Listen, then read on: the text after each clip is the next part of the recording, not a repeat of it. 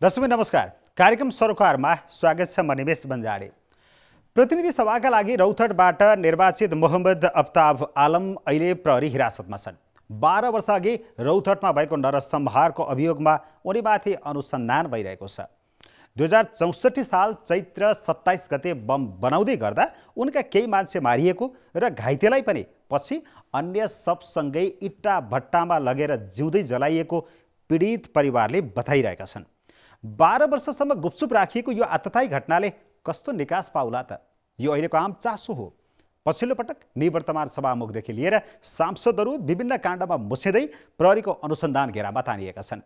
यसले शक्ति र सत्ताका आडमा अब बदमासी गर्न पाइँदैन भन्ने जिनो सङ्केत त गरेको छ। तर के सबै उच्च पदस्थ राजनीतिक व्यक्तिहरूका आपराधिक गतिविधिमाथि खुलेर छानबिन होला त? जनतामा विश्वास अझै छैन। किनकि राजनीतिको आडमा यहाँ धेरै अपराध भएका छन् र अपराधमा राजनीतिको बर्को उडाउने काम भएको छ। आजको सरकार राजनीति र शक्तिको आडमा हुने अपराध कसरी रोक्छ? अपराध अनुसन्धान गर्ने प्रहरीलाई कस्तो दबाब दिइन्छ भन्ने विषयमा केन्द्रित हुनेछ। छलफलका लागि आज हामीसँग हुनुहुन्छ पूर्व सांसद एवं देशभक्त जन गणतान्त्रिक मोर्चा नेपालका महासचिव परिथापा पूर्व प्रहरी अतिरिक्त महानिरीक्षक देवेन्द्र सुवेदी र अधिवक्ता सुभाष आचार्य। सुभाजी यो रौतटको नरसम्भार काण्ड जुन भनिएको छ यो यत्रो बाह्र वर्षसम्म त हरायो। विधिको शासन कानुनी राज्य कहाँ हराएछ यो बिचमा? अपराध घटिसकेपछि राजनीतिक शक्तिमा रहने ओहदामा रहने व्यक्तिले अपराधलाई दबाउन छिपाउन प्रयास गर्छ। त्यो शक्तिले आफ्नो शक्तिको दुरुपयोग गरेर बाह्र वर्ष तेह्र वर्ष जति सक्थ्यो त्यो दबाउन सक्ने सम्मको पहल कदमी गर्ने उसको पाटोमा हो। तर बाह्र वर्ष भएकै कारणले गर्दा अपराधीले अपराधिक दायित्वबाट उन्मुक्ति पाउँदैन। पहिलो यहाँ उठाइएको प्रश्न बाह्र वर्ष हुनुले कतै मुद्दाको गम्भीरतालाई असर गर्छ कि भन्ने विषयमा चाहिँ त्यसो हुँदैन। ज्यान सम्बन्धी कसुर गम्भीर प्रकृतिको कसुर हो। त्यस कारणले कानुनमा नै ज्यान सम्बन्धी कसुरको सम्बन्धमा बिस वर्षसम्म प्रतिवादी साबिती हुन्छ जहिले सुकै होइन भने बिस वर्षसम्म चाहिँ त्यस्तो ज्यानको कसुरमा मुद्दा चलाउन अभियोजन अनुसन्धान गर्न मिल्छ। अब यहाँ ढिलो हुनु पछाडिको कारण के छ भने यो घटनाको मुख्य अभियुक्त आफ्ताब आलम ती रहेछन् नेपाली काङ्ग्रेसका नेता। ती भए चार चार पटक मन्त्री राज्यको ओहदामा भएका मान्छे। यस्ता व्यक्तिले आफ्नो शक्तिको दुरुपयोग गरेर अनुसन्धान गर्ने अनुसन्धान अधिकारी अभियोजन गर्ने सरकारी वकिललाई समेत आफ्नो माताहतमा नियन्त्रणमा कुन तरहले हो? लोभ लालचा वा शक्तिको दुरुपयोगले ल्याएको कारणले गर्दा अनुसन्धानमा ढिलाइ भएको हो। ओके त्यस कारणले त्यसरी पदीय दायित्व दुरुपयोग गर्ने ती पदाधिकारीहरू पनि जिम्मेवार हुन्छन्। र अहिले अनुसन्धान बाह्र वर्षपछि भए पनि समयमै भएको मानिन्छ किनभने यसको हदम्याद चाहिँ बिस वर्ष हुन्छ। ओके परिजी अब यही घटनालाई हेर्दाखेरि चाहिँ तत्कालीन गृहमन्त्री तत्कालीन प्रहरी प्रमुख तत्कालीन गृह सचिव उहाँहरूले कसैले सिधै त कसैले अलि घुमाउरो पारामा यो विषयमा हामीलाई त्यति बेला जानकारी भएन खबर आएन बल्ल सुन्दैछौँ भन्ने आशयमा बोलिरहनु भएको छ। यो कति पत्यार लाग्दो छ? होइन पत्यार लाग्दो भन्दा नि यो चाहिँ तपाईँको हद दर्जाको गैर जिम्मेवार र उद्योग लाग्दो विषय हो। राज्यको नेतृत्व तहमा बसेका। खास जस्तो गृह मन्त्रालयमा बसेको होइन अथवा प्रहरीकोमा प्रमुख भएर बसेकाहरूले यत्रो चाहिँ तपाईँको घटना थाहा पाएनौँ भन्ने कुरो त यो त हद दर्जाको लाचारी हो र यसलाई चाहिँ हामीले एकदमै नेपाली राज्य व्यवस्थाको सञ्चालन गरेर बस्ने व्यक्तिहरू तत्त्वहरूले कति हद दर्जासम्म पुगेर चाहिँ चिजहरूलाई एउटा काम नलाग्ने बनाउन खोज्छन्। भन्ने कुराको यो चाहिँ दृष्टान्त भनेको उहाँहरू झुट बोलिरहनु भएको छ। थाहा छैन भन्ने कुरा हामीले थाहा पाएनौँ भन्ने कुरा सरासर झुट हो। थाहै पाउनु भनेको त्यो झुट भन्दा पनि अझ बढी भयो। झुटसँग त सही जोडेर आउँछ। है त्यो त कस्तो भन्दाखेरि तपाईँको मानौ कि उनीहरू चाहिँ चिर निद्रामा थिए। है देशमा भएको घटना उनीहरूको त मेकानिजम छ नि त। चेन अफ कमान्ड छ नि त। त्यसको त सूचना आउँछ नि। है त्यसलाई त अझ आफूले पहल गर्नुपर्ने पो हो त। है। त्यसो भए झुटभन्दा पनि बढ्दा भयो झुटसँग सत्य जोडेर आउँछ। है? यो के भयो भन्दाखेरि यो एक प्रकारको व्यवस्था भन्नुहोस् न। ओके व्यवस्थाको हद भनौँ न। देवीजी अब यो घटनामा चाहिँ अहिलेसम्मका आधारहरू र आएका समाचारहरूलाई हेर्ने हो भने यद्यपि अनुसन्धान अगाडि बढिरहेको छ अदालतमा जान अझै बाँकी नै छ तर अहिलेसम्मका कुराहरू हेर्दाखेरि चाहिँ प्रहरीले त्यति बेला चाहिँ अलिक असहयोग गर्यो। तुरन्त घटनाको छानबिन गरेन जाहेरी बुझिदिएन भन्ने गुनासो आइरहेको छ। तपाईँले कसरी हेर्नु भएको छ त्यसलाई? अब यो निमेशजी यो कुरा गर्दै गर्दाखेरि हामी अहिले छिहत्तर सालको परिस्थितिमा उभिएर चौसठी सालको घटनालाई निहालिराखेका छौँ। र हामीले अहिलेको परिवेश परिस्थिति स्थिरता ल एन्ड अर्डरको सिचुएसन वा मुलुकले समातेको एउटा राजनैतिक स्थिरता भनौँ। को अवस्थामा बसेर हेर्दाखेरि त्यो बेलाको परिस्थिति के थियो स्थिति के थियो भन्ने कुरालाई पनि एकचोटि हेर्न आवश्यक छ। तपाईँले याद गर्नुहोस् चौसठी सालको जब संविधान सभाको चुनाव भयो त्योभन्दा अगाडि मुलुक बाह्र वर्ष हिंसात्मक द्वन्द्वमा थियो। अनेकौँ अपराधका घटनाहरू भए। कति रेकर्डमा छन्? कति अनरेकर्डै छन् त्यो एउटा कल्चरको डेभलप भएर ट्रान्जिसनल फेज जुन चाहिँ तत्कालीन विद्रोही शक्ति सरकारमा समावेश भइसकेपछि संविधान सभाको जुन परिस्थिति चुनावको जुन परिस्थिति थियो त्यो बेलाको घटना परिघटना एकपछि अर्को हेऱ्यो भने के थियो अवस्था कस्तो अवस्थामा प्रहरीले काम गरिराखेको थियो भन्ने कुरोलाई पनि एउटा हेर्न आवश्यक हुन्छ। शान्ति प्रक्रिया पुरा भइसकेको थिएन। मूल विद्रोही शक्ति सैनिक क्षमतासहित रहेको थियो तर सरकारमा सामेल थियो।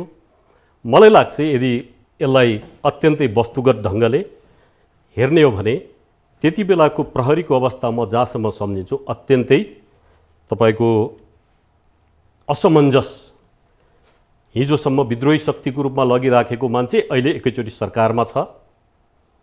ऊ पावर सेयर गरिराखेको छ।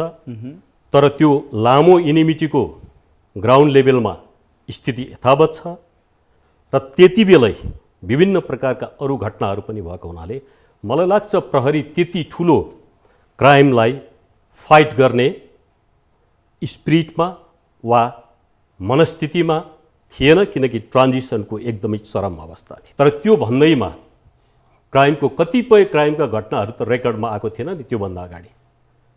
र अहिले पर्टिकुलरली जुन प्रहरी उपरीक्षकको कुरा उठिरहेछ उनी विभिन्न द्वन्द्व पीडित द्वन्द्वले ग्रस्त ठाउँमा यिनको लागि डोल्पामा पनि बसिसकेको अधिकारी हुन्। कसको कुरा गर्नु हुनुहुन्छ? मैले लक्ष्मणको कुरा गरिरहेको छु। लक्ष्मण जो बेला त्यति बेला तत्कालीन प्रहरी उपरीक्षक थिए त्यो मनस्थितिले घटना परिघटनाहरूलाई परिस्थितिवश वा तपाईँको समय सापेक्ष हिसाबले रिलेटिभली हेर्ने एउटा बानीको विकास भएको अवस्थामा भएको कारणले त्यसले प्रायोरिटी पाएन कि? भन्ने जस्तो प्रश्नहरूलाई पनि राखेर यदि हामीले विश्लेषण गऱ्यौँ भने त्यसको सही निर्क्योल यो कुराहरूबाट। तपाईँले सङ्केत त गर्न खोजेको कुरा चाहिँ ठिक छ परिस्थिति त्यस्तो थियो अब- मेन्टालिटी त्यो अवस्थामा बसेर काम गरेको अवस्था थियो। तर पनि जे हुनुपर्ने थियो त्यो चाहिँ नभएको त हो नि फेरि होइन? त्यो चाहिँ मान्न अब सकिने अब स्थिति भयो अहिले। यस्तो हो हुन हुनसक्छ। अहिले त्यो बेलाको जुन चाहिँ रेस्पोन्सिबिलिटी बसेको मान्छेहरूले बोल्न सक्ने कुराहरू यिनीहरू हुन्। अब रह्यो तपाईँको तपाईँले अहिले पनि सोध्नुभयो भने त्यति बेला यति धेरैवटा बम विस्फोटनहरू भएको थियो। कि कहाँ बम विस्फोटन भयो भन्ने कुरा खोज्न पुलिसले नै नसक्ने अवस्थामा बम विस्फोटनहरू गराइएको थियो। ओके म फेरि आउँछु तपाईँसँग। त्यो। घटनामा भएको हुनाले आउटराइटली अब अहिले छिहत्तर सालमा आएर रिभिजिट भइराखेको छ क्राइमको। रिभिजिट हुँदा इन्भेस्टिगेसनले डेफिनेटली केही कुराहरूलाई उजागर गर्ला। ओके। त्यो किन त्यसलाई प्रम्प्ट रेस्पोन्स गर्न सकेन? सुभाषजी त्यो कन्टेक्समा त्यो अवस्था अबको पुलिसले अ, त्यो स्थितिमा अगाडि बढ्यो होला भनेर भन्न सकिन्छ? यस्तो? परिस्थितिमा मिल्दैन। त्यसमा मेरो फरक मत छ। ओके। यस्तो परिस्थितिमा अपराध भएको कारणले गर्दा अपराधिक दायित्वबाट उन्मुक्ति पाउने भन्ने फौजदारी कानुनमा हुँदैन। फौजदारी कानुन भनेको कठोर प्रकृतिको कानुन हो। जसले कानुनको उल्लङ्घन गर्छ र जसले कानुनको उल्लङ्घन गर्नेलाई सघाउँछ त्यो स उल्लङ्घन गर्ने मान्छे पनि र सघाउने मान्छे पनि दुवै कानुनद्वारा दोषी हुन्छन्। यहाँ चाहिँ घटना चौसठी साल चैत सत्ताइस गतेको घटना हो जतिखेर सामान्य अवस्थामा आइसकेका छ। राजनीतिक विसर्जन भएर द्वन्द्व विसर्जन भएर सामाजिक अवस्थामा आइसकेका छ। भोलिपल्ट संविधान सभाको निर्वाचन छ। वारदात कस्तो हो भने बम पट्काउँदै गर्दाखेरि बम पट्केर दुईजना त्यही गोठमा मरे। बाँकी जिउँदा भएकाहरूलाई इन्जेक्सन लगाएर वा कुन माध्यमले हो बेहोस बनाएर बोरामा हालेर बाँधेर ट्र्याक्टरमा हालेर इटाभट्टीमा खसालेर मारेको छ। त्यो वारदात भएको स्थानदेखि एक पोइन्ट पाँच साढे एक किलो किलोमिटरको दुरीमा इपर्का छ। त्यहाँ जिल्लाको प्रहरी प्रमुख हुनुहुन्छ। त्यहाँ सशस्त्रको छ। र यो कसैले थाहा नपाउने भन्ने हुँदैन। बम पड्केको सबैले सुनेका छन्। त्यहाँ चस्मदित गवाहहरू छन्। तत्काल प्रहरीकोमा उजुरी परेको छ। प्रहरी त्यहाँ आएको छ। सशस्त्र प्रहरी त्यहाँ आएको छ। अनि कुन परिस्थितिले पर्छ कि मैले त्यसमा चाहिँ अनुसन्धान तहकात गर्न नपर्ने भन्ने। यहाँ बदनियत के छ भने त्यति भइसकेपछि उजुरी पर्यो र सुरुमा प्रहरीले उजुरी लिन पा मानेन। कुन मान्छे आयो त्यो? त्यो परिस्थितिले हो। जाहेरी दरखास्त पीडितले लगेर गइसकेपछि यस्तो परिस्थितिमा वारदात भएको कारणले गर्दा जाहेरी लिन पाउँदै लिँदैन भन्न प्रहरीले सक्दैन। जाहेरी नलिसकेपछि वैशाख अठार गते बल्ल हुलाक मार्फत जाहेरी दर्ता भएको छ। जाहेरी दर्ता त भयो तर अनुसन्धान गर्ने अधिकारीदेखि अभियोजन गर्ने सरकारी वकिलसम्म त्यसलाई तत्कालै मुद्दा नचल्ने निर्णय गरियो। त्यहाँ वारदात भएकोमा पनि विवाद छैन बम पड्केको गोठ पनि त्यहीँ थियो भोलिपल्ट बम पड्केको गोठ टालिरहेको छ देख्ने चस्मदित मान्छेहरू छन् पेटबाट आन्द्रा निस्केर भागेर भातमा गएर बचेको छ। यसरी चाहिँ सबैले देख्ने गरी अपराध भइरहेको ठाउँमा पीडितले उजुरी गर्दा उजुरी नलिएर हुलाक मार्फत उजुरी परिसकेपछि अनुसन्धान अभियोजन गर्ने पक्षले मुद्दा नचल्ने निर्णय गर्छ भने त्यो बदनियतपूर्वक गरेको त्यस कारणले गर्दा दुइटै कसुरदार हुन्। एक कर्तव्य ज्यानमा संलग्न हुने व्यक्तिहरू कसुरदार हुन्। ओके। तिनलाई त्यतिखेरको कानुनले सर्वस्वसहित जन्मकैद हुन्छ र त्यो कर्तव्य ज्यानको वारदातलाई पछि दबाउने छिपाउने। तिन प्रकारले हेर्नुपर्छ मर्डरमा। एउटा बिफोर द फ्याक्ट। सघाउने मार वचन दिने गर भन्ने अराउनेवाला मुख्य अपराधी हो। दोस्रो वारदात घटाउनेवाला बम पट्काउने बोरामा हाल्ने इँटा भट्टामा हाल्ने मुख्य अपराधी हो। बिफोर द फ्याक्ट हो ड्युरिङ द फ्याक्ट हो र after the fact. After the fact भनेको वारदात भइसकेपछि अपराधीलाई वा घटनालाई दबाउन छिपाउनको लागि क्रिया गर्ने मान्छे। त्यस्तो मान्छे पनि जिम्मेवार हुन्छ। त्यो आजको कानुनले मात्रै होइन। हिजोको मुलुकी ऐनमा पनि त्यो व्यवस्था थियो। परिचय यहाँनिर चाहिँ र ठिक छ बाह्र वर्षसम्म त यसलाई छोपियो लुकाउन खोजियो त्यो खालको प्रयास गरियो। अहिले आएर पनि कता कता राजनीतिक नेतृत्वले हठातमा यो हामी विरुद्धको षड्यन्त्र हो हामीलाई फसाउन खोजिँदैछ भन्छ एकाएक अतालिन्छ। र फेरि चौबिस घन्टाभित्र आफ्नो भर्सन पनि फेर्छ भोलि पनि फेर्छ।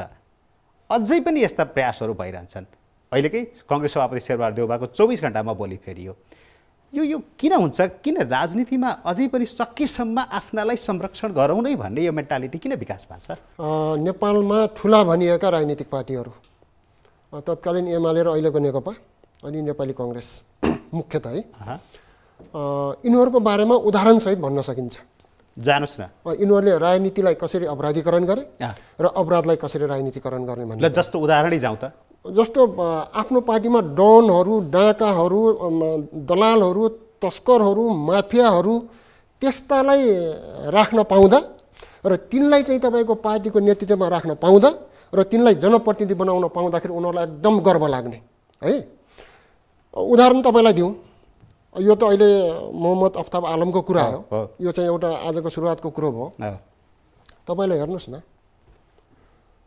अपराधी भएका कैयौँ मान्छे मारेका लुटपाट गरेका प्रहरीको चाहिँ तपाईँको इन्काउन्टरमा परेको अब त्यो त अब हाम्रो सुवेदीजीलाई थाहा होला। प्रहरीको एकदम हिट लिस्टमा परेको मोस्ट वान्टेडमा परेको र प्रहरीले इन्काउन्टर गर्दाखेरि अनि हाम्रो पार्टीको चाहिँ मान्छेलाई हाम्रो नेतालाई हाम्रो पार्टीको मान्छेलाई प्रहरीले मारिदियो भनेर तपाईँ संसद बन्द गरे होइन? त्यो नेपाली कङ्ग्रेसले पनि गर्यो एमाले पनि गर्यो। चरी मर्दा चरी इन्काउन्टरमा पर्दा? एमाले। एमाले करायो र त्यसपछि तपाईँको आर्यघाटमा लगेर पार्टीको झन्डा ओढाएर मोहन धारण गर्यो। है? घैँटे घैँटेलाई इन्काउन्टर हुँदाखेरि नेपाली काङ्ग्रेसले चाहिँ तपाईँको संसदमा हल्ला मचायो अनि आर्यघाटमा लगेर झन्डा ओढाएर मोहन धारण गर्यो। यो त तपाईँको विश्व बेइज्जत हो। अनि यस्ता चाहिँ तपाईँको पार्टीहरू यस्ता व्यक्तिहरूले चाहिँ नेतृत्व गरेको देश काम लाग्छ। इन अनि हामीलाई चाहिँ तपाईँको विदेशीहरूले गन्छन् मान्नुपर्ने हुन्छ है? त्यति मात्र होइन। अझ थप उदाहरण म तपाईँलाई दिन्छु। यी त भनिएका डनहरूलाई प्रहरीले इन्काउन्टर गरेको कुरो भयो होइन? त्यस्तै प्रकारका डनहरू भनेर कहलिएकालाई यिनीहरूले चाहिँ तपाईँको जनप्रतिनिधि बनाएनन्। नेपाली कङ्ग्रेसले कङ्ग्रेस उमा काभ्रेमा गणेश लामा। एमाले चाहिँ तपाईँको यो दिपक मनाङ्गे है? यदि सबै देशमा हुन्थ्यो भने विदेशमा हुन्थ्यो भने यस्ता मान्छेहरूले चाहिँ तपाईँको पार्टीको सदस्यता र नेताको त कुरै छोड्नुहोस्। कि यिनीहरूको सोसल स्ट्याटस नै के हुन्छ? कोल्याप्स हुन्छ डाउन हुन्छ। ती जति यङ भए पनि जति जान्ने सुन्ने भने तिनले कुनै सरकारी काम पाउँदैन। भनेपछि यसले के देखाउँछ भन्दाखेरि म तपाईँलाई तिनवटा कुरा भन्न चाहन्छु। पहिलो कुरो त सामाजिक हिसाब किताबले या जे होल हाम्रो समाजको नैतिक र सांस्कृतिक धरातल के छ अझै पनि न्यून छ। समाजले त्यस्तालाई एक्सेप्ट गर्छ के? एक्सेप्ट गर्यो नि त भोट दियो जनप्रतिनिधि बनायो है? हामी कुनै अब हामीले त बोलेका छौँ है? तर कुनै त्यसमा चाहिँ मानव अधिकारवादीहरू बोल्दैन कुनै चाहिँ तपाईँको सिभिल सोसाइटी बोल्दैन है? एउटा कुरा त्यो छ।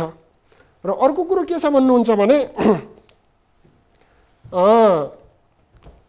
राजनीति गर्छु भन्ने राजनीतिक पार्टीका नेताहरूको के छ भन्दा तिनीहरूसँग सम्बन्ध छ। विभिन्न तपाईँको व्यक्तिगत सम्बन्ध भइ नै हाल्ने भयो है? तिनको व्यावसायिक सम्बन्ध छ तिनको चाहिँ तपाईँको व्यापारको सम्बन्ध छ तिनको विभिन्न सम्बन्ध छ। पार्टीको नेताहरू बिहान ब्रेकफास्ट चाहिँ तपाईँको डनसँग गर्छ तपाईँको लन्च चाहिँ तपाईँको माफियासँग गर्छ डिनर चाहिँ कोसँग गर्छ भन्दाखेरि दलालसँग गर्छ। र मान्छे के हो त भन्दा त्यो इन्डिभिजुअलदेखि व्यक्तिदेखि तपाईँको पार्टीदेखि राज्यसम्म के गर्छ भन्दा एक अर्कालाई के गर्न चाहन्छ? दबाउन चाहन्छ हप्काउन चाहन्छ ठुलो हुन चाहन्छ होइन? तर व्यक्तिको कुरो चाहिँ तपाईँको त्यति ठुलो होइन तर यहाँको प्रब्लम के हो त भन्दाखेरि राज्य र राजनीतिक पार्टीहरू नै जोडियो ओके है यो एकदम सिरियस कुरो हो र। र यसले के देखाउँछ भन्दा अर्को कुरो म अघि मैले सामाजिक नैतिकता र संस्कृतिको कुरो मैले भने। यसले हाम्रो राज्यको सभ्यता अझै पनि के छ भन्दाखेरि यो असभ्य राज्य हो सभ्य राज्य सिभिलाइज स्टेटमा तपाईँको यस्तो हुनै सक्दैन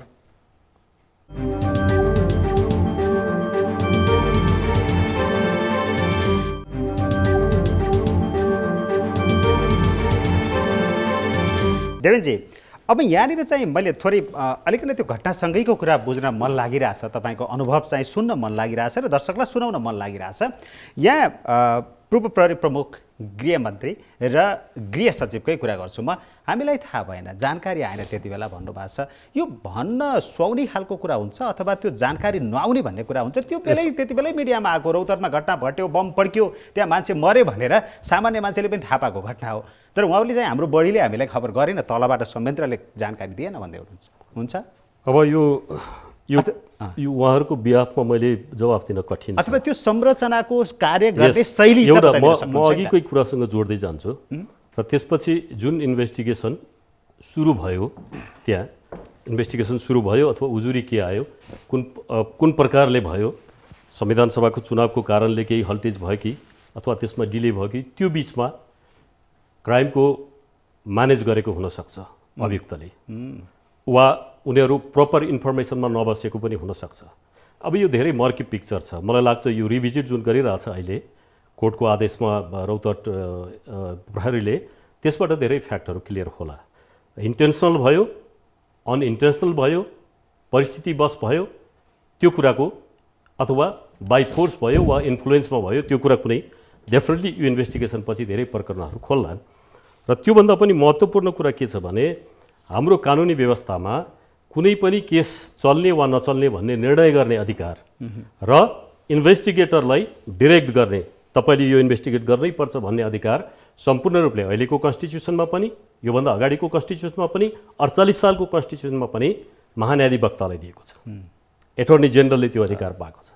र एटर्नी जेनरलको डेजिग्नेटेड जुन अफिसहरू छ जिल्लामा उनीहरूले डिसाइड गर्छ। त्यहाँनिर किन चुक भयो? किन एटर्नी जेनरलको त्यो अख्तियारलाई प्रहरीमाथि युज गरिएन? यदि पुलिसको मिस्टेकेनली गरेको वा रङफुल्ली गरेको वा इन्टेन्सनली गलत गरेको थियो भने अर्को एउटा लेयर राख्नुको मतलब के हो भने पुलिस कुनै इन्फ्लुएन्समा पर्यो वा पुलिसको क्यापासिटीले नभएको कुरा पर्यो वा उसको लिगल भिजनले भ्याएन त्यो अवस्थामा त्यसलाई प्रोटेक्ट गर्ने गाइड गर्ने डिरेक्ट गर्ने लिगल अथोरिटी त सरकारी वकिल हो नि त। सरकारी वकिलले किन त्यो तत्कालै मुद्दा नचल्ने डिसाइड गर्यो यति धेरै फ्याक्टहरू हुँदाहुँदै तर त्यो तेस्रो-। पुरै फ्याक्टहरू ल्याउन सकेन। त्यसको मुसुल्कान त्यसको 18 बेनि- दिनपछि त्यसको उठाइयो। बेनिफिट त- होइन प्रमाणहरू नष्ट भइसकेपछि अनुसन्धानको प्रतिवेदन त्यहाँ बुझायो भन्ने आयो। अब तर। यदि लागेको थियो कि क्राइम भयो क्राइममा जरुरी छैन प्राइमा फेसियाको सबै चिज भेटिन्छ भन्ने यदि यति धेरै संयन्त्रहरू त्यहाँ सूचनाहरू संयन्त्रहरूले प्राप्त गरेका थियो भने त्यो अथोरिटी युज सरकारी वकिलबाट होइन यो रिइन्भेस्टिगेट गर्नुपर्ने विषय हो भनेर किन भनिएन त्यो सम्बन्धित च्यानलमा त महाधिवक्ता कार्यालयमा त्यो कन्सल्टेसन त भयो होला। त्यसमा किन रोकिएन मैले भन्नेको खोजेको के भने क्रिमिनल जस्टिस सिस्टमभित्र यति धेरै अब अहिले आएर अहिलेको कानुनमा हेर्नुहुन्छ भने त पुलिस एउटा इन्स्ट्रुमेन्ट मात्रै हो। पुलिसको अझ को ओर्कलाई कतिपय हिसाबमा त क्रिमिनलाइज गरिएको छ। यदि तपाईँले प्रपरली इन्भेस्टिगेट गर्न सक्नु भएन भने पनि तपाईँमाथि क्रिमिनल चार्ज लाग्छ। तपाईँले प्रमाण दबाएको प्रमाण सङ्कलन गर्न नसकेको जस्तो चार्जहरू अहिलेको व्यवस्थामा छ तपाईँले यहाँनिर भन्न खोजेको क्लियर हुन्छु र दर्शकलाई त्यहाँ क्लियर पार्न लेयरहरू चाहन्छु। छ, एउटा लेयर- कुरा एउटा कुरा लेयरहरू क्लियर छ। हुन्छु तपाईँकै ले- कुरामा म। क्लियर हुन चाहन्छु जिल्ला सरकारी वकिलको कार्यालयले प्रहरीले गरेको अनुसन्धानमाथि चित्त नबुझेको भए त्यसलाई फेरि अनुसन्धान यहाँनिर शङ्का छ यहाँनिर। गहिरो घटना घटेको छ भनेर भन्न सक्ने भन्न ठाउँ सक्छ। थियो भनेर भने। तपाईँको कुरा। अब तेस्रो त्यसपछि उनीहरू रिटको क्षेत्रमा प्रवेश गरेको देखिन्छ ओके रिटको क्षेत्रमा प्रवेश गर्ने बित्तिकै एउटा सामान्य त के हुन्छ भने अहिले पनि तपाईँले कतिपय पोलिटिकल डिसिसनहरूमा सुन्नुहोला त्यो त रिटमा छ हामी केही गर्दैनौँ भने पनि सुनिन्छ। रिटमा गएपछि त्यसमा फेरि अरू कुरा जान सक्ने अवस्था रहेन। रिटले पर्खिनु पर्यो अब। राइट रिट पछि तपाईँले हेर्नुभयो भने पैँसठीदेखि उनसत्तरी सालसम्म चार वर्ष लगाएको छ कुनै एउटा भिक्टिमले मेरो क्राइम इन्भेस्टिगेसन भएन। मलाई इन्भेस्टिगेसन गर्नलाई आदेश गरिदेऊ भन्नको लागि चार वर्ष पर्खिनु पर्ने कस्तो प्रकारको न्याय प्रणाली हो कि रिइन्भेस्टिगेट गर भन्नलाई चार वर्ष पर्खिनु पर्ने? कसले रोक्यो? के चिजले त्यसलाई हडल गर्यो? त्यसबाट यहाँ समस्या के होइन भने मात्रै पुलिसको मात्रै समस्या होइन ओभरअल क्रिमिनल जस्टिस सिस्टमभित्र जुन प्रकारको इन्फ्लुएन्स छ जुन प्रकारको इन्टरफेरेन्स छ जुन प्रकारको ऊ छ मिलोमतो छ त्यसको पनि पूर्ण रूपले मिस्टेक। होइन भनिरहँदाखेरि होइन मिस्टेक अबको इन्भेस्टिगेसनले के मिस्टेक थियो भन्ने कुरा त स्टाब्लिस गर्छ। मिस्टेक। भयो। अहिलेसम्मको दृष्टान्त हेर्दा। र पीडितका बयानहरू अहिले सुन्दाखेरि चाहिँ प्रहरीले त्यति बेला कमजोरी गरेको छ। बकाइदा त्यहाँ इलाका प्रहरी। कार्यालयको प्रमुखलाई राति नौ बजी सरुवा गरिएको छ। होइन त्यो गलत। इलाका प्रहरी कार्यालयको प्रमुख होइन। चौकी? कुनै चुनावको प्रयोजनलाई खटिएको व्यक्ति। त्यति बेला चुनावको बेलामा के हुन्छ भने अघिल्लो चुनावभन्दा अगाडि करिब एक हप्ता ऊभित्र यति धेरै मान्छेहरू डिप्लोय गरिन्छ। कि तिनीहरूको विभिन्न बेसहरूमा विभिन्न क्षेत्र बनाएर डिप्लोय गरिएको। भनेको जुन ठाउँमा घटना घटेको छ त्यही ठाउँमा प्रहरी सबैभन्दा बढी परिचालित गर्नुपर्ने अवस्था हुन्छ। तर त्यही बेलामा। त्यहीको नेतृत्व गरेको मान्छेलाई सरुवा सर। त्यसमा माल इन्टेन्सनले गरियो बरु बाहिरबाट पुलिस पठाउने बेलामा हो त्यस्तो के अपरेसनल पार्टको जुन चाहिँ कुराहरू छ त्यसमा मिस्टेकहरू प्रिलिमिनरी त्यहाँ केही न केही अवस्थाहरू ल्याप्सेजहरू देखियो। ओके, मेरो तर प्रश्न थियो, तर। त्यसपछि त्यसपछि त्यो चिजलाई गाइड गर्न ओभरनाइट त सबै इन्भेस्टिगेसन पनि हुँदैन। हाँ? ओभरनाइट त इन्भेस्टिगेसन पनि हुँदैन। अब तपाईँले त्यही घटनामा म तपाईँलाई भन्छु अहिले एकछिन एकछिन ओभरनाइट इन्भेस्टिगेसन हुँदैन भनिदिँदाखेरि सुभाषजी तपाईँले अघि भन्नुभएको छ। प्रहरीले त्यहीँनिर सुरुमै कमजोरी गरिरहेछ भनेर। त्यहाँनिर गर्नुपर्ने काम त प्रहरीको त थियो त। प्रहरीको थियो। यसमा दुविधै छैन। प्रहरीमा राजनीतिक हस्तक्षेप नै हुँदैन वा सरकारी वकिलमा राजनीतिक हस्तक्षेप नै छैन भन्ने बुझाइबाट हामीले बुझ्न जरुरी छैन। त्यो साँचो होइन।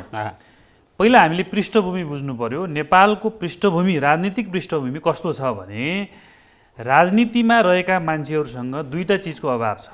सुरुमा उसलाई चाहिँ एउटा मनी चुनावमा क्यास खर्च गर्नु पर्यो। त्यो पैसा चाहिन्छ। अर्को चाहिँ फिजिकल पावर बुथ कब्जा गर्नु पर्यो त्यसको लागि गुन्डा चाहिन्छ। मनी र मसल चाहियो? मनी र मसल राजनीतिज्ञलाई चाहिएको छ। ओके। यता गुन्डालाई के चाहिएको छ त भन्दा उसले गुन्डागिर्दी गरेर फिजिकल पावर समूह बनाइसकेका छ। अर्कोतर्फ त्यसै गरी धन पनि कमाइसकेका छ तर संरक्षण पाएको छैन। धन छ समूह छ संरक्षण पाएको छैन। संरक्षण दिन सक्छु धन र उसँग मसल पावर छैन। त्यस कारणले गर्दा राजनीतिज्ञ र डनहरूको गुन्डाहरूको चाहिँ यो खालको कनेक्सन समन्वयात्मक सम्बन्ध हुन्छ। ओके। हाम्रो नेपालको राजनीतिक पृष्ठभूमि यहाँबाट उठेको। अहिले आफ्ताब आलमलाई पक्राउ गर्दा बित्तिकै देउवालाई घन्टी बज्यो।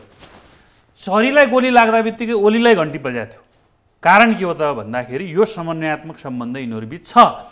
अब त्यहाँ के भएको हो त भन्दा चुनावको पूर्व सन्ध्यामा भएको चुनावको पूर्व सन्ध्यामा भएको क्रिया के को लागि थियो? चुनाव जित्नको लागि थियो। जसरी पनि चुनाव जित्नुपर्ने भन्ने ध्येयभित्र थियो। चुनाव जित्नुपर्ने क्रिया अन्तर्गत अपराध हुन गयो। त्यस कारणले त्यो चुनाव जित्ने पार्टीको संयन्त्रभित्रको एउटा क्रिया भए हुनाले त्यसलाई राजनीतिक संरक्षण दिने प्रयास गरियो। त्यतिखेर सम्झनुहोस् को को छ त भन्दा? त्यतिखेर प्रधानमन्त्री को छ? गिरिजा प्रसाद गिरिजा प्रसाद कोइराला नेपाली काङ्ग्रेस। त्यतिखेरको गृह सचिव गृहमन्त्री को छ? सिटौलाजी सिटौला। कृष्ण सिटौला नेपाली काङ्ग्रेस। त्यतिखेरको गृह सचिव को छ? के मैनाली भन्ने हुनुहुन्छ? उमेश मैनाली उहाँ पनि काङ्ग्रेस ब्याकग्राउन्डको अरे? त्यतिखेरको। त्यतिखेरको आइजिपी को छन्? एकजना राणाजी हुनुहुन्छ। ओम विक्रम राणा। र हुँदै हुँदै तह तह गएको छ। यो बन्ने तिमीले यसरी चाहिँ कसरी प्रश्न गर्न सक्छौ? भन्दा तपाईँ के दृष्टान्तले देखाउँछ त? त्यति डेढ किलोमिटरको दूरीमा प्रहरी आएर तत्काल घटनास्थल मुजुकलाई किन खडा नगरेको? यस्तो अरू मुद्दामा गर्छ? गर्दैन। बदनियत छ त्यहाँ। जाहेरी लगेर पीडितले गइसके जाहेरी किन नलिएको? अरूमा त्यस्तो गर्छ? गर्दैन। हुलाक मार्फत जाहेरी परिसकेपछि अनुसन्धान गर्नुपर्ने ठाउँमा सरकारी वकिलले अभियोजन गर्नुपर्ने ठाउँमा मुद्दा नचल्ने निर्णय किन गरेको? यत्तिकै गर्छ? त्यस कारणले गर्दा त्यहाँ मालाफाइडनेस छ राजनीतिक संरक्षणमा भएका अपराधहरू हुन् जसलाई हामीले राजनीतिक अपराधीकरण भन्छौँ। राजनीतिक संरक्षणमा अपराध हुनु। तपाईँको कुरा सुन्दाखेरि त यस्ता घटना अझै बाहिर उजागर हुन बाँकी नै छ सतहमा आउन बाँकी नै छ जस्तो पनि देखियो त। मैले। देवेनजीलाई अघि नै सोध्न खोजेको देवेनजीलाई। थोरै एउटा सर्टकटमा जवाब खोज्न खोजेको अघिको त प्रश्नको उत्तर आएन। आइजिपी गृहमन्त्री गृह सचिवले त्यस्ता घटनाहरू पनि थाहा नपाउने भन्ने हुन्छ र पर्टिकुलरली त्यही घटना त्यति बेला। त्यही स्केलमा। प्रहरीको नलेजमा त्यो स्केलमा आएको थियो कि थिएन आएन भने रिपोर्ट नभएको पनि हुनसक्छ त यसको ठ्याक्कै मैले मैले जवाब दिन सक्ने विषय होइन तर. रिपोर्टिङ प्रणाली अथवा रिपोर्टिङ प्रणाली हुन्छ। रिपोर्टिङ प्रणालीले एउटा सर्टेन तहसम्म अब त्यसपछि उसलाई के अरे क्षेत्रको अथवा अञ्चलको लागि गर्यो होला उसले। ठिक छ। त्यसो हुनाले यसलाई ठ्याक्कै यसै भन्न सकिँदैन। उहाँहरूले सिस्टम चाहिँ हुन्छ कि हुँदैन भन्ने मात्रै बुझ्न खोजेको परिजी प्रणाली। यहाँनिर चाहिँ राजनीतिक दलहरूसँग हजारौँ लाखौँ कार्यकर्ता छन् पार्टीका हैसियत हेरिकन। उनीहरूले एकपटक आह्वान गर्दैमा एक आह्वानमै हजारौँ लाखौँ जनता सडकमा उतार्न सक्ने त्यो ल्याखत पनि राख्छन् अहिलेसम्म। त्यसरी उतारेका पनि हुन्। उनीहरूसँग त्यत्रो पावर छ। अन्तिम शक्ति नै जनता हो भनिन्छ। उनीहरूको पछाडि जनता छन्। तर उनीहरूले गुन्डा होइन तस्करहरू ठेकदारहरू यिनीहरू किन चाहिन्छ यिनीहरूलाई? सबभन्दा पहिला कुरा त हाम्रो आम जनताको आलोचनात्मक चेतनाको विकास जति हुनुपर्ने थियो त्यति हुन सकेका छैन। ओके। त्यसो भएको हुनाले राजनीति गर्ने व्यक्तिहरू अथवा प्रशासनमा बस्ने व्यक्तिहरू राज्य सत्ताको विभिन्न अङ्गमा बस्ने व्यक्तिहरूले जनतालाई हेपेको हो यो। यो जनता भनेको केही पनि होइन। वास्तवमा तपाईँले हेर्नु न नेपाली जनताको लाइ लाइफको कुनै भ्यालु छ? भ्यालु नै छैन नि। अथवा यो घटना? पुष्टि हुन बाँकी नै छ तर। यदि पुष्टि भयो भने त्यो पीडित परिवार आजसम्म कसरी बस्या होला? यस्ता पीडित परिवार आउँदैछु। त्यसो? भएको हुनाले उनीहरूको स्वार्थ जोडिएको छ। एकजना पीडितको त आमाको त हत्या नै भएको छ केसमा हो उनीहरूको स्वार्थ जोडिएको हुनाले के हुन्छ भन्दाखेरि यस्ता कुराहरूमा यति धेरै चाहिँ तपाईँको के बनेको हुन्छ भन्दाखेरि सम्बन्ध सम्पर्क बनाएको हुन्छ। जस्तो अघि उहाँले एक्सप्लेन गर्नुभयो। प्रधानमन्त्री गृहमन्त्री गृह सचिव आइजिपी तपाईँको लोकल लेभलका चाहिँ सबै मान्छेहरू होइन? उनीहरूको त्यो संयन्त्र तपाईँको मिलेकै हो। उनीहरूले त त्यो मिलेर त्यसलाई चाहिँ मैले पहिला पनि भने यसलाई गुपचुप राख्नु अथवा व्यवस्था है हात दर्जाको व्यवस्था गरे हो। मेरो प्रश्न थियो नेताहरूसँग राजनीतिक दलसँग कार्यकर्ता छन् जनता छन् त्यत्रो ठुलो शक्ति छ तर यिनीहरूले गुन्डा किन पाल्छन्? किन तस्करसँग सम्बन्ध बढाउँछन्? किन ठेकेदारहरूसँग यिनीहरूको सम्बन्ध छ। अपराधीहरू यिनीहरूले किन संरक्षण गर्छन्? यो किन हुन्छ? यिनीहरूलाई के चाहिएको छ? सबै चिज छ त होइन त्यो त प्योर एन्ड सिम्पल विकसित देशहरूमा के हुन्छ भन्दाखेरि politics is not a profession राजनीति तपाईँको पेसा होइन। है? सेवा हुनुपर्ने। सेवा हो। तर यहाँ के छ भन्दाखेरि तपाईँको तपाईँले पासपोर्टमै हेर्नुहोस् न पासपोर्टमै कतिपय साथीहरूले त्यो तपाईँको पेसा के हो भन्दाखेरि पोलिटिक्स लेखेको हुन्छ। है यो त हाउ फन नि है। यहाँ पोलिटिक्स त के भयो त भन्दाखेरि कमाउनु पऱ्यो कमाउनु पऱ्यो नि त। अब देउबाको कुरो त अघि भन्नुभयो उहाँले देउबालाई घन्टी भइसक्यो भन्ने किसिमको कुरो कहाँनिर होइन। तर यहाँ हेर्नुहोस् त। अहिले सत्ताधारी पार्टीकै मान्छेहरू कसरी बसेका छन् सत्ताधारी पार्टीका अध्यक्ष तिनका नेताहरू है। तिनीहरूको भूमाफियाहरूसँग सम्पर्क छ। है? सत्ताधारी पार्टीको चाहिँ तपाईँको जिम्मेवार एउटा चाहिँ तपाईँको पदाधिकारीको चाहिँ के छ भन्दाखेरि भूमाफियासँग चाहिँ सम्बन्ध छ र सरकारी जग्गा बेच्छ उसले। है? र त्यो भूमाफिया चाहिँ तपाईँको त्यही सत्ताधारी पार्टीको केन्द्रीय अनुशासन विभागको सदस्य छ तर त्यसलाई अहिलेसम्म कुनै कारवाही भएको तपाईँले सुन्नुभएको छ? सुन्नुभएको छैन है? सत्ताधारी पार्टीकै अध्यक्ष चाहिँ तपाईँको राज्यबाट राज्यको कामको लागि ठेक्का लिएको काम नगरेर बिगारेर डिफल्टरमा परेको व्य- व्यक्तिको घरमा गएर बसेका छन्। मुख्य कुरो के हो त भन्दाखेरि निहित स्वार्थ। एउटा कुरा त जसरी पनि सत्तामा बस्ने साम दान द्वन्द भेद हात हतियार। मैले दुईवटा थपेँ है? विरोधीलाई ठिक पार्ने जनतालाई ठिक पार्ने सत्तामा बसिराख्ने र त्यसपछि तपाईँको अकुत सम्पत्ति जम्मा गर्ने। र त्यो सम्पत्ति तपाईँको देखाउन नमिल्ने बनाउने त्यस कारणले गर्दाखेरि यिनीहरूले जोसँग हुन्छ जहाँबाट सम्भव हुन्छ त्यहाँ सम्बन्ध गाँच्न अप्ठ्यारो मान्दैनन्। आर्जन गर्नु। पर्यो पैसा कमाउनु पर्यो र शक्तिमा रहिरहनु पर्यो। देवेनजी यो प्रहरीले काम गर्न सकेन प्रहरी पनि दबावमा पर्यो प्रभावमा पर्यो भनेर पटक पटक आएको छ। तपाईँ व्यक्तिगत रूपमा पनि त्यस्ता प्रभाव दबावहरूको सामना कतिको गर्नु पर्यो? कतिपय कुराहरू पोलिटिकल लिडरसिपमा फर्गेट अबाउट सरकार र अर्को पार्टीको कुरा नगर्नुहोस्। इन्ट्रेस्ट सबैको आफ्नो मान्छेलाई प्रोटेक्ट गर्ने असाध्यै इन्ट्रेस्ट हुन्छ।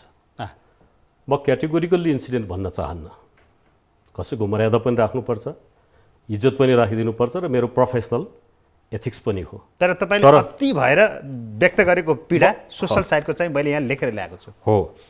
त्यसो भए हुनाले तपाईँको प्रेसर दिने बेलामा वा इन्डे अटोनोमसली काम गर्न नदिने बेलामा सबै गर्ने। त्यसपछि के कुरा गर्ने? एकदमै आदर्शवादी कुरा गर्ने। धेरै जसो के देखिन्छ भने सरकारमा बस्छ बस्दा आदर्शवादी कुराहरू गरेको देखिन्छ। सानो एउटा उसमा मेरो अनुभवमा म बताउँछु। जापानमा याकुजा भन्ने अर्गनाइजेसनल क्रिमिनलहरूको जुन ग्याङ छ हिस्टोरिकल ग्याङ हो त्यो। भेरी पावरफुल थियो र जति बेला म जापानमा थिएँ त्यति बेला नागासाकीको मेयरलाई उसको अफिसकै टेबलमा वान अफ द याकुजाको मेम्बरले गोली हानेको थियो। त्यो चाहिँ सर्ट एन्ड ठेक्का नदिएको कारणले गोली हानेको इन्सिडेन्टमा हुनाले it was in a big discussion मैले के सोधेँ भने तिमीहरूको यहाँ जापानी यो उसमा पोलिटिसियन र उसको बिचमा अपराधीहरूको बिचमा अथवा जस्तो भनौँ याकुजाको बिचमा कुनै प्रकारको सम्बन्ध हुन्छ। जापानको पुलिस अफसरहरूले त्यो क्वेसनै बुझेन। किनभने उनीहरूका त्यो कल्चर रहेनछ। कल्चर नभएपछि बुझ्ने कुरो भएन। पोलिटिसियन र क्रिमिनलको कनेक्सन हुने कुनै सम्भावनै छैन त्यहाँ। यस्तो पनि प्रश्न हुन्छ भन्ने भयो। उनीहरूले क्वेसन बुझेन। अलि फर्दर बुझाएपछि उनीहरूले मलाई के जवाफ दिए भने माथिल्लो ऱ्याङ्कको मान्छेले जसले स्ट्राटेजिकल्ली जापानको पुलिसिङलाई अथवा क्राइमले हेरिरहेको छ उसले के भन्यो भने हेर्नुहोस् हामी कहाँ? कुनै त्यस्तो प्रकारको मेम्बरसँग जापानको पोलिटिक्स गर्ने मान्छे चाहे तलको होस् चाहे माथिको होस् कुनै प्रकारले कनेक्टेड भयो डिनर खायो चिया खायो अथवा कुनै प्रकारले उनीहरूको आपसी म्युचुअल हितको कुराहरू गर्यो त्यो डिस्क्लोज भएन भने भएन। कुनै प्रब्लम भएन थाहा भयो तर डिस्क्लोज भइसकेपछि त्यो पोलिटिसियनको अगाडि एउटा मात्रै अप्सन बाँकी हुन्छ उसको लागि त्यो हो हाराकेरी। जापानको जुन चाहिँ ट्रेडिसनल बुढी चिरेर सुसाइड गर्ने मेथड छ त्यसलाई हाराकेरी भन्छ। उसको अगाडि एउटै अप्सन हुन्छ हाराकेरी। सोसाइटीले एक्सेप्ट गर्दैन। रौतहटको एसपी भूपेन्द्रलाई त्यो प्रमाणहरू जुटाउन कम कम गाह्रो छ। भोलि त्यो प्रमाण लिएर अदालत जाँदै गर्दा अदालतले प्रमाणको टेस्ट गर्दा तिमीसँग प्रमाण पुगेन भनिदियो भने यो इन्भेस्टिगेसनको सम्पूर्ण मेहनत खेर जान्छ। सजिलो छैन। र फेरि म अर्को के भन्छु भने इन्भेस्टिगेसन हिजोको पुलिसले गरेको मिस्टेक यदि थियो भने वा लापरवाही थियो स्टेटले त्यहाँ सरकारी वकिल पनि छ अदालत सबै छ नि। त्यसको करेक्सन त अहिले फेरि पुलिसले नै गरिराखेको छ नि त। भूपेनजीले नेतृत्व गरिरहनु भएको अहिले भूपेन्द्रले त्यो काम गरिरहेको छ नि। हिजो यदि कसैले मिस्टेक गरेको थियो भने उहाँको नेतृत्व कस्तो छ सर? तपाईँले चिन्नुहुन्छ नि उहाँलाई राम्रोसँग। भेरी इफिसियन्ट अ कुन मानेमा प्रोफेसनल हामी त प्राउड गर्छौँ उसको कामले। ए। मसँग त काम पनि गरेको मान्छे हो। आई नो हिम पर्सनली पनि। र उसको जुन जिल छ अथवा त्यसलाई क्यारियन गर्ने जिल यो सामान्य ऊ नै होइन इन्भेस्टिगेसन नै होइन तपाईँको। प्रमेय फेसेको कुनै पनि कुराहरू छैन। न सुरुमै लासै नभेटेको कुरालाई ज्यान मुद्दामा चढाउनलाई यसको इन्भेस्टिगेसन यति म्यासिभ र यति डिटेल इन्भेस्टिगेसनमा जानुपर्छ। त्यो इन्भेस्टिगेसनको जुन एभिडेन्स छ त्यसलाई भोलि कोर्टले एक्सेप्ट गर्नु पनि पर्यो। बाबुराम भट्टराईको ट्विटको जवाफ दिँदै तपाईँ लेख्नु भएको थियो अनामनगरको एउटा आत्महत्या घटनामा प्रहरी अनुसन्धानकर्ताहरूको तथ्यपरक अनुसन्धानलाई ठाडै नकारेर तपाईँले जारी गरेको प्रधानमन्त्रीय दबावमा एउटै परिवारका निर्दोष बाबुआमा र एसएलसी दिँदै गरेको किशोर छोरा प्रहरी अभियुक्तको रूपमा हनुमान ढोकामा पच्चिस दिन थुनिँदाको प्रसङ्ग के गर्ने? एउटा सुसाइडल केस थियो अनामनगरमा हाउसमेटको। सुसाइडल केस लेडी इन्भेस्टिगेटरहरू इन्सपेक्टरहरू डिएसपीहरू गएर इन्भेस्टिगेट गरे। डे ब्रोड लाइटमा भएको घटना थियो। प्राइमा फेसियाले इन्भेस्टिगेसनले सबै कुराले के देखाउँथ्यो भने यो सुसाइडल हो यसको पछाडि अरू अहिलेको जस्तो कानुन थिएन। सुसाइडल केसमा सुसाइडल जो सुसाइड गरे त्यो त्यो नै लायबल हुने कानुन थियो। त्यसले गर्दा त्यसलाई त्यो इन्भेस्टिगेसनको फाइन्डिङ थियो। उहाँ प्राइम मिनिस्टर हुनुहुन्थ्यो तर उहाँले के गर्नुभयो भने मोस्ट प्रब्ली यो उसको दबावमा हुनसक्छ। यो राइट्स ऊहरूको दबावमा अथवा विभिन्न प्रकारको दबावहरूमा त्यो इन्भेस्टिगेसनको रिपोर्ट एज्याक्ट छ यो सही रिपोर्ट हो। भनेर भनिँदा भनिँदै पनि यो मान्छे थुन्नै पर्छ भनेर दबावमा पच्चिस दिन थुनियो। अब यसको पछाडिको कथा चाहिँ मर्मस्पर्शी छ हेर्नुहोस्। त्यो काठमाडौँले काठमाडौँ परिसरले चलाउने मुद्दा हो म क्राइम हेर्दै त्यति बेला। तर त्यो एक्काइस वर्षको अठार वर्षको केटा जसको जाँच थियो त्यो केटा तल थुनामा छ। त्यसलाई मैले माथि बोलाएर ल्याएपछि उसले मलाई के भन्यो भने मसँग दुई घन्टा कुरा गरे उसले। र उसले मलाई भनेको म तपाईँलाई आज भनिदिन्छु म ठुलो भएपछि पिस्तोल लिएर यसलाई गोली हान्ने विचार थियो तर आज सरको कुराले गर्दाखेरि म अब त्यो काम गर्दिनँ। म त्यो काम गर्दिनँ। यस्तो पर्दो रहेछ हुँदो रहेछ यो कुरो रियलाइज गर्छ। म अब मेरो फर्दर चाहिँ जाँचमा जान्छु। कति त्यो केटाको किशोरको मनस्थिति के थियो? होला थुनिनु पर्ने घटना होइन त्यसमा हाम्रो सिस्टमभित्र च्यानलभित्र अपोज भएको छ। ठिक छ। र तपाईँलाई तर लिडरसिपबाट प्रधानमन्त्रीले भनिसकेपछि नथुन्ने भन्ने पनि भएको छ। घटना त छन् नि त। अब इन्सिडेन्ट वाइज घटना अब एउटा मात्रै जिज्ञासा। कुनै निर्दोष मान्छेले जेल हाल्न पनि त्यति उद्ध हुनु पर्दैन उहाँहरू।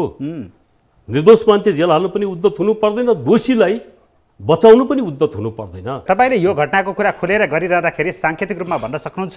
अहिले बालवाला या विभिन्न जिम्मेवारीमा रहेका नेताहरूले पनि तपाईँलाई त्यसै गरेर दबाब दिएका घटना छन्। हेर्नुहोस् भन्नको लागि घटना छन्। तर for sake of professional secrecy म भन्न चाहन्छु।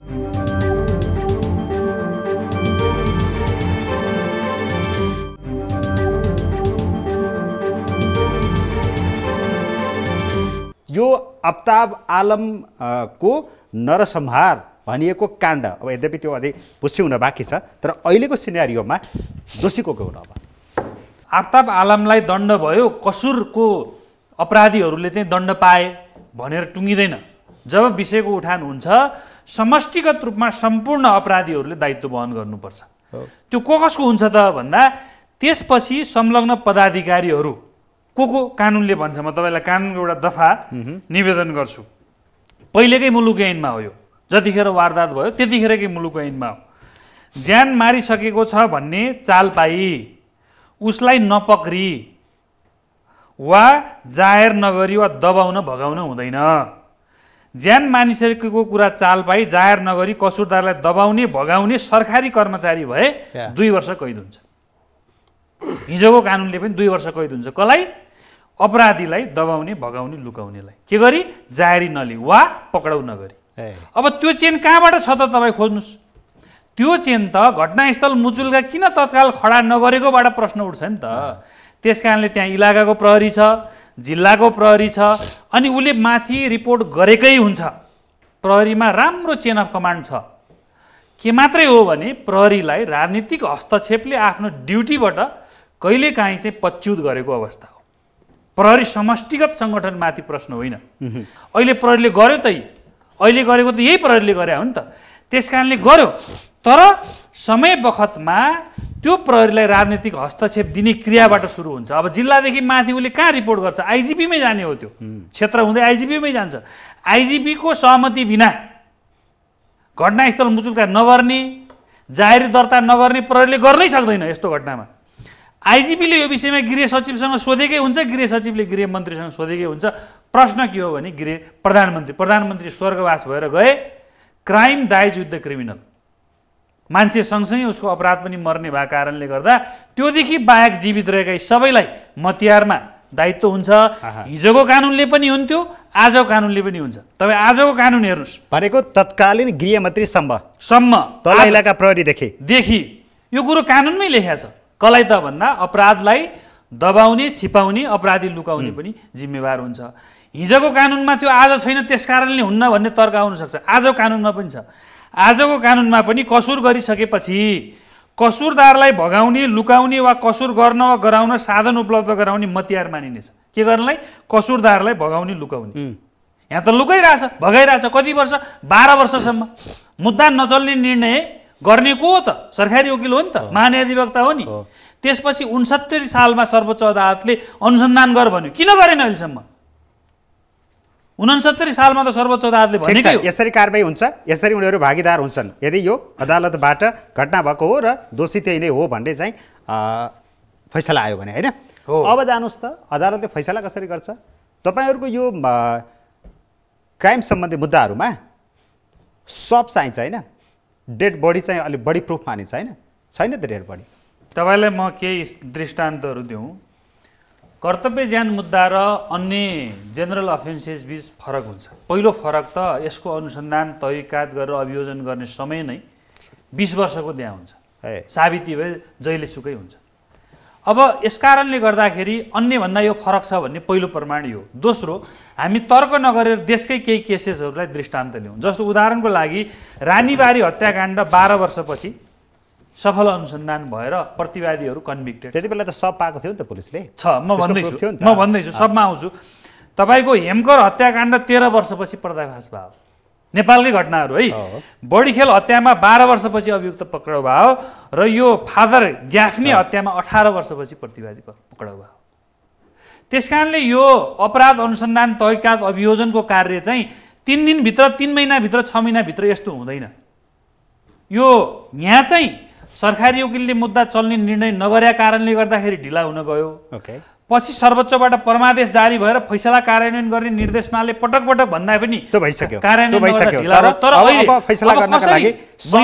म म यो निवेदन गर्दैछु। अदालतले फैसला गर्दाखेरि तथ्य प्रमाणहरू हेरेर फैसला गर्छ। अदालतमा मुद्दा विचाराधीन हुने विषयमा यही नै फैसला गर्छ भनेर मैले भन्न सक्दैन।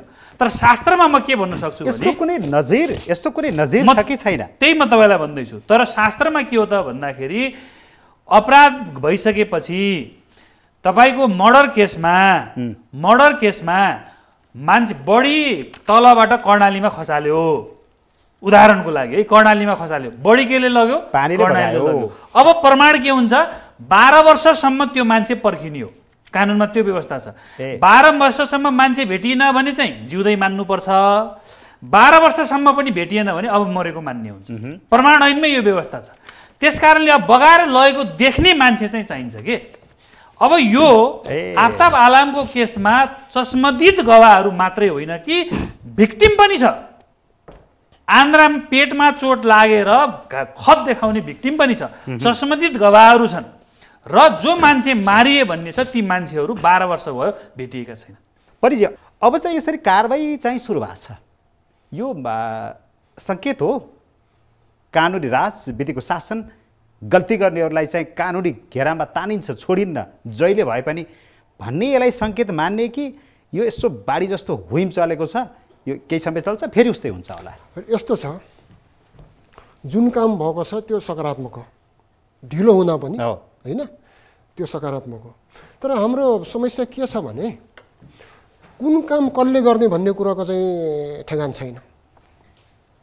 यहाँ त तपाईँको अब जस्तो प्रधानमन्त्री हाम्रो देशको कार्यकारी। कार्यकारी भनेको के हो? कामको अधिकारी भने हो नि त। हो। काम गर्ने हो भने हो नि त। तर यहाँ के हुन्छ भन्दा हाम्रोमा कार्यकारी मान्छे चाहिँ तपाईँको कार्यकारी नभएर वचनाधिकारी हुन्छ। मुखमा चाहिँ तपाईँको छुरा ल्याउने हातमा कैँची लिएर चाहिँ अनि साराले के भने भन्दै त्यसको चाहिँ जवाब दिएर हिँड्ने होइन? विभिन्न काण्डमा र अपराधमा परेका मान्छेलाई पनि तपाईँको त्यो उनले गरेको होइन भनिदिने। जस्तो उदाहरण लागि मैले यसभन्दा पहिला पनि भनेको थिएँ। जस्तो प्रधानमन्त्रीले के भने जस्तो रविन्द्रको बारेमा। रविन्द्र म राम्रो साथी हो तर एउटा विभागीय मन्त्रीको हिसाब किताबले त्यो उसमा त्यो वाइट बडी छानबिनमा उनी मुछिएका थिए होइन? तर प्रधानमन्त्रीले होइन उनी भनिदिए है? त्यसपछि फेरि तपाईँको अर्को छानबिन एउटा समिति बन्यो। त्यो समिति कहाँ गयो। त्यसो भएको हुनाले कुरो के छ भन्दाखेरि यो ढिलो हुँदा पनि हो सकारात्मक हो है? तर अर्को कुरो के छ भन्दाखेरि यस्तै ढिलो बनाएर प्रक्रियालाई चाहिँ तपाईँको के बनाउने? डाइल्युट बनाउने। त्यसलाई ए फेरि तन्काइरहने लम्बाइरहने लम्बाइरहने र त्यसलाई सिद्ध्याउने विभिन्न चाहिँ कागतली मिलाएर त्यो पनि हुनसक्छ त्यसो भएको हुनाले यसमा के हुनु पर्यो भन्दाखेरि हाम्रो राज्य व्यवस्था राज्य संयन्त्र भनौँ न स्टेट मेकानिजम त्यसमा सरकार आयो संसद आयो अदालत आयो सुरक्षा निकाय आयो कर्मचारी तन्त्र आयो यो नै के छ भन्दाखेरि तपाईँको आम रूपमा यसको जुन एउटा ऊ भन्छ नि यसको छवि यो चाहिँ तपाईँको जनहितैषी र जनमुखी छैन। यो जनविरोधी छ र जनविद्वेषी छ। यसको सार चाहिँ त्यो हो। त्यसो भएको हुनाले हामी चाहिँ तपाईँको अथवा जनता चाहिँ के हो त भन्दाखेरि ढुक्क भएर बस्ने कुरो होइन। तर कुरो के छ भन्दाखेरि कुनै पनि गलत काम कुनै पनि अपराध त्यो चाहिँ दबेर बस्न सक्दैन है। त्यो कुनै पनि समयमा के हुन्छ फेरि? उठेर आउँछ। जस्तो उहाँले अघि दिनुभयो। मरेको प्रधानमन्त्री त मरिहाले होइन? तर जस्तो क्राइम डाइज विथ क्रिमिनल।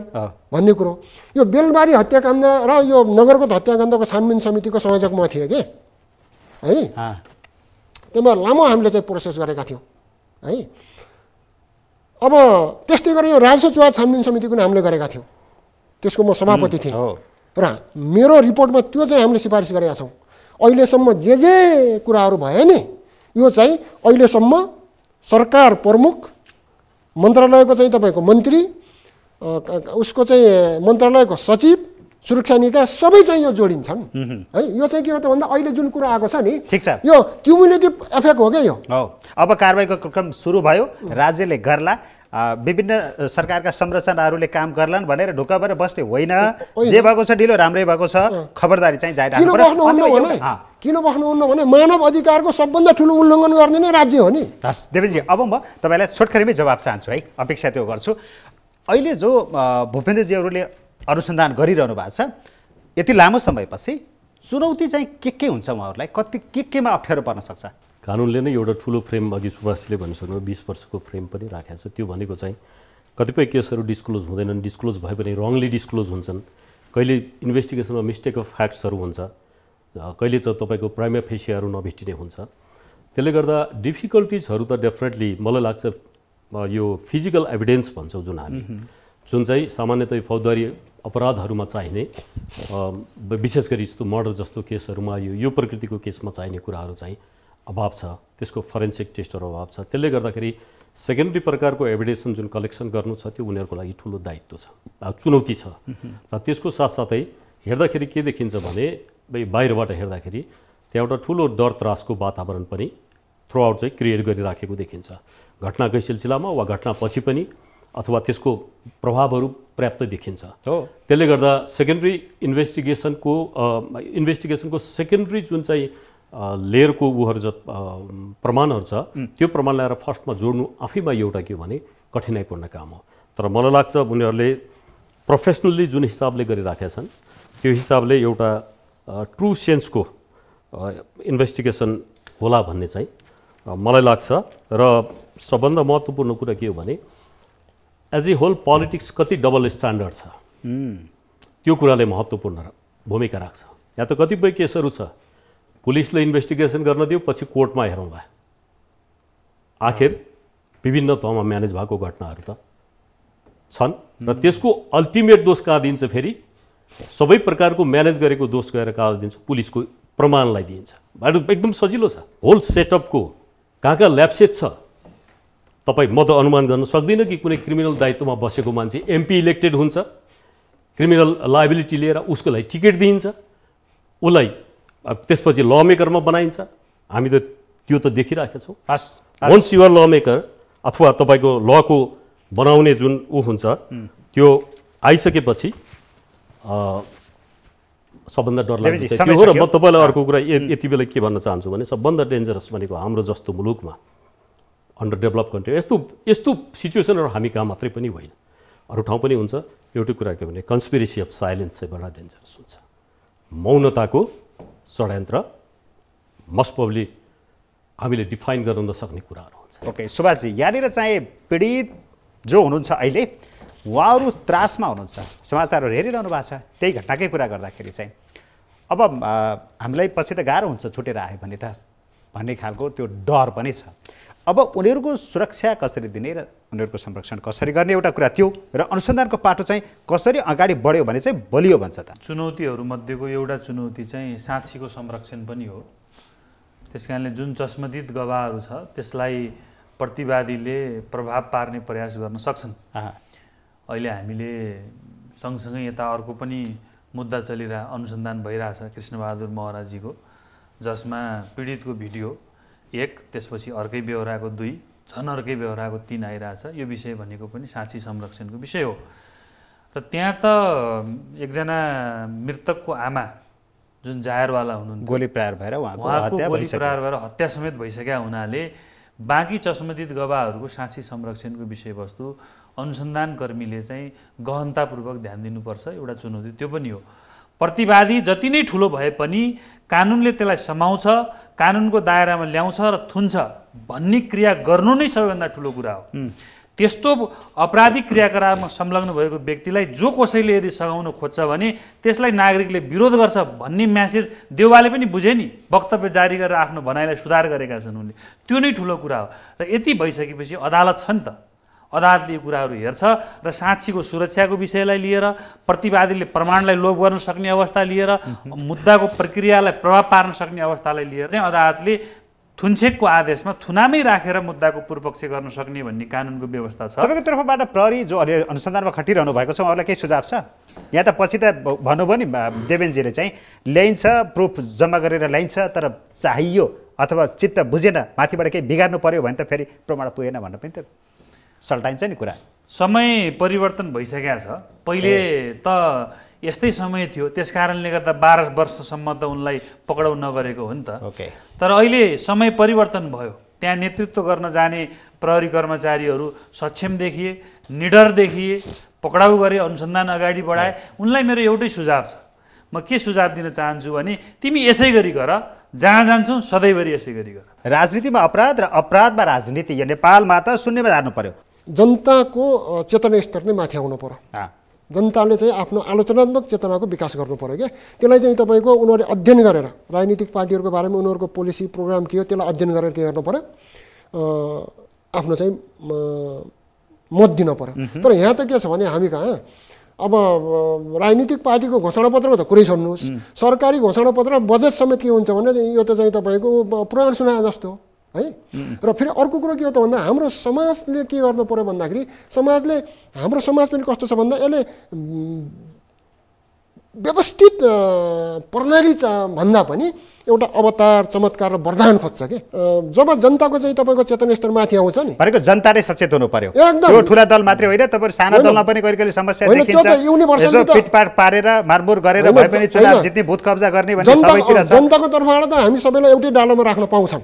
तर त्यो कुरो के हो त भन्दाखेरि अ, तथ्यको आधारमा सत्य हुनु पर्यो? यस्ता सम्बन्ध राख्नेहरूसँग यसरी ढाकछोप गर्नेहरूसँग चाहे जति ठुलो नेता होस् चाहे जति सानो नेता होस् चाहे जुनसुकै पार्टीको होस् जनताले बहिष्कार गर्न सक्नु गर्नु सक्नु अर्को कुरा चाहिँ तपाईँको अघि डरको कुरा आयो नि।